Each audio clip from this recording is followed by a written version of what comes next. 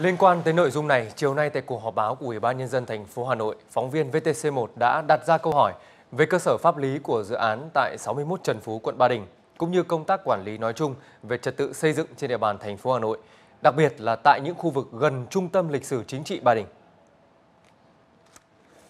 Ngày gần đây thì VTC cũng có tiếp cận với các cái văn bản của thành phố Hà Nội liên quan đến cơ sở pháp lý của dự án tại 61 Trần Phú. À, và chúng tôi cũng đã cập nhật kịp thời cái việc là trưa nay thì bí thư thành ủy Hà Nội cũng có chỉ đạo về việc kiểm tra cái uh, công trình này uh, và đã đến thời điểm này thì đã có cái quyết định đó là yêu cầu là tạm dừng thi công công trình. Chúng tôi cũng đã cập nhật nội dung này uh, dưới góc độ là cái sự quản lý chặt chẽ cũng như là có cái đoàn thanh tra chiều nay của Ủy ban nhân dân quận Ba Đình tiến hành. Uh, tuy nhiên thì chiều nay chúng tôi cũng đã tiếp cận với chủ đầu tư và họ cũng chia sẻ tức là những cái đeo đuổi mà đã 10 năm nay khi họ thực hiện một cái công trình mà ở một cái vị trí nó rất nhạy cảm. Vậy thì đến thời điểm này xin lãnh đạo ờ, thành phố Hà Nội có thể chia sẻ. Sau toàn bộ cái, cái ờ, quá trình à, triển khai tổ chức triển khai thực hiện lấy ý kiến thì Sở Quy hoạch Kiến trúc cũng đã có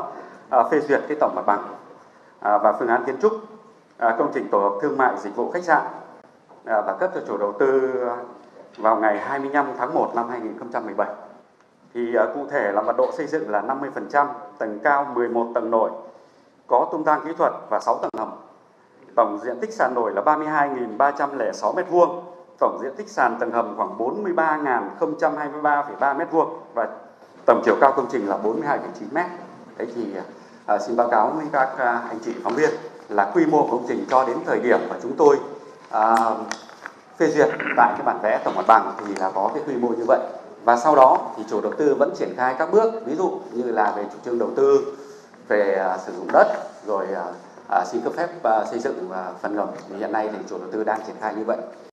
Thưa quý vị, trước sự chú ý của dư luận về một nhà máy được xây dựng từ thời Pháp tại địa chỉ 61 Trần Phú, quận Ba Đình, Hà Nội đang bị phá rỡ để thay thế bằng tổ hợp nhà cao tầng. Chiều nay, Bí thư Thành ủy Hà Nội Đinh Tiến Dũng đã yêu cầu Ban cán sự Đảng Ủy ban nhân dân thành phố, quận ủy Ba Đình chỉ đạo kiểm điểm, xử lý nghiêm trách nhiệm tập thể cá nhân có liên quan để xảy ra vi phạm nếu có. Tại công trình số 61 Trần Phú, có văn bản yêu cầu chủ đầu tư tạm dừng thi công công trình này, đồng thời tổ chức kiểm tra quy trình thủ tục triển khai dự án nêu trên. Kết quả thực hiện phải được báo cáo về Thường trực Thành ủy trước ngày 8 tháng 4 năm 2022. Đây là hiện trạng của dự án tại số 61 Trần Phú, rộng hơn 9.000 m2. Đây vốn là trụ sở chính và nhà máy sản xuất của công ty cổ phần thiết bị bưu điện. Tòa nhà này đã được người Pháp xây dựng từ đầu thế kỷ 20 với những mái vi kèo bê tông, dấu ấn kiến trúc nhà xưởng còn nguyên vẹn. Theo văn bản của Sở Quy hoạch Kiến trúc Hà Nội, công trình này không nằm trong danh mục công trình kiến trúc khác xây dựng trước năm 1954, cần tập trung nguồn lực để bảo tồn và phát huy giá trị văn hóa, đã được ban hành kèm theo nghị quyết Hội đồng nhân dân thành phố Hà Nội vào năm 2013. Bên cạnh đó, công trình cũng đã được Sở Xây dựng Hà Nội cấp phép xây dựng phần ngầm công trình vào năm 2020. Trao đổi với phóng viên VTC vào chiều ngày hôm nay, đại diện chủ đầu tư cho biết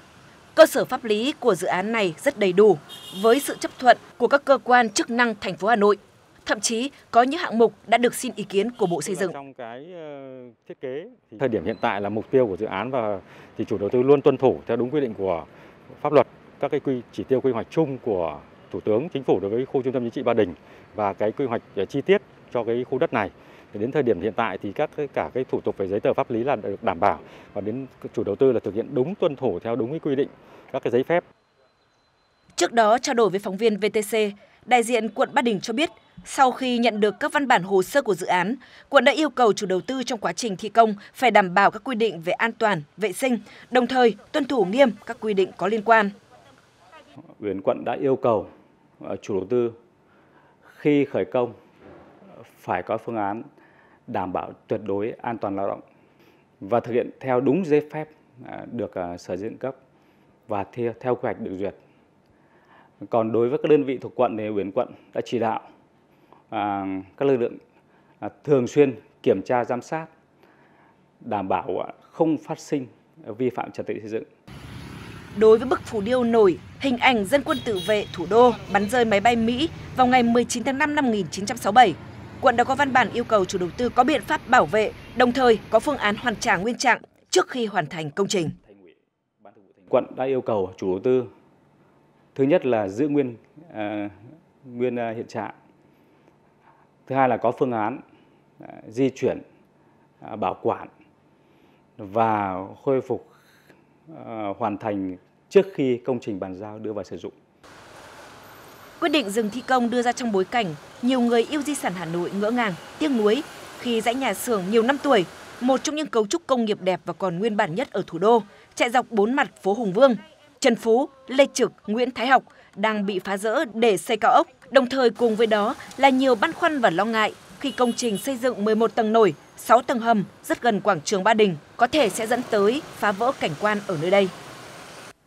Sáng nay, Ban chỉ đạo tháng hành động về an toàn vệ sinh lao động phòng chống cháy nổ Trung ương thông tin cho biết, lễ phát động tháng hành động về an toàn vệ sinh lao động năm 2022 sẽ diễn ra vào ngày 28 tháng 4 tới đây với chủ đề tăng cường các biện pháp giảm thiểu rủi ro về an toàn vệ sinh lao động, cải thiện điều kiện lao động tại nơi làm việc, thích ứng an toàn linh hoạt và kiểm soát hiệu quả dịch bệnh COVID-19. Trong tháng hành động về an toàn vệ sinh lao động năm nay sẽ diễn ra các hoạt động như đối thoại của Hội đồng Quốc gia về an toàn vệ sinh lao động, thăm các nạn nhân tai nạn lao động, bệnh nghề nghiệp, tổ chức các hoạt động thanh kiểm tra, tự kiểm tra tại doanh nghiệp, cơ sở sử dụng lao động, tổ chức tập huấn, các cuộc thi tìm hiểu về pháp luật về an toàn vệ sinh lao động, phòng chống dịch bệnh, tư vấn khám sức khỏe cho công nhân người lao động, theo thống kê của Bộ Lao động Thương binh và Xã hội, năm 2021, cả nước đã xảy ra hơn 6.500 vụ tai nạn lao động, làm trên 6.600 người bị nạn, thiệt hại về vật chất gần 4.000 tỷ đồng, giảm sâu về số vụ gây chết người, số người chết và số người bị thương nặng so với năm 2020.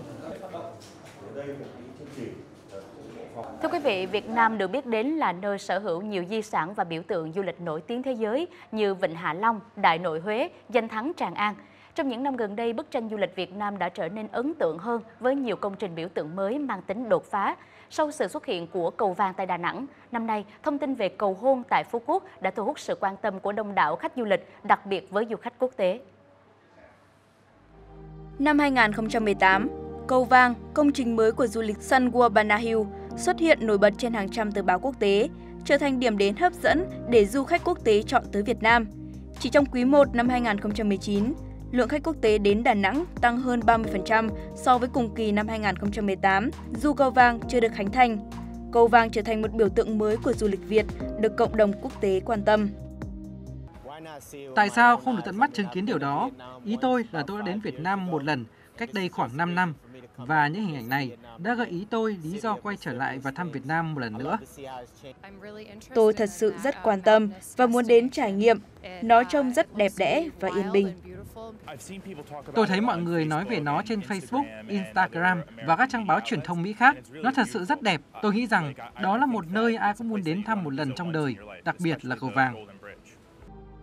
Tiếp nối sự thành công của cầu vàng, sự xuất hiện của cầu hôn tại Phú Quốc trên truyền thông quốc tế khiến cho du lịch Việt nhận được nhiều sự quan tâm. Đây là công trình do Sun Group hợp tác triển khai cùng Akea Asokati, đơn vị đã tạo nên hàng loạt công trình nổi tiếng thế giới. Lấy ý tưởng từ chuyện tình huyền thoại Ngưu Lang chức nữ của Việt Nam, công trình được tạo nên từ hai nhánh cầu, mỗi nhánh dài 400 m, gặp nhau ở lưng chừng biển khơi nhưng không chạm mà cách nhau 50 cm. Nếu hai người đi từ hai đầu cầu, họ sẽ gặp nhau ở giữa cầu, chạm được vào nhau, trao nhau một nụ hôn, nhưng không bước qua bên kia. Dù chưa ra mắt, nhưng công trình này được đánh giá là một biểu tượng của nghệ thuật và cầu nối giữa văn hóa Ý và Việt Nam. Vượt trên công năng của một cây cầu thông thường, đây là một công trình của giấc mơ.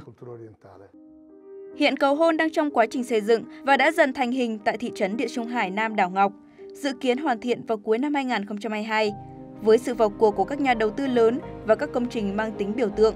du lịch Việt trong những năm gần đây liên tục gây ấn tượng với truyền thông và du khách thế giới. Điều này cho thấy sức bứt phá và hướng đi đúng đắn của du lịch Việt Nam, trong hành trình khẳng định vị thế của một quốc gia vô cùng giàu tiềm năng trước bạn bè thế giới.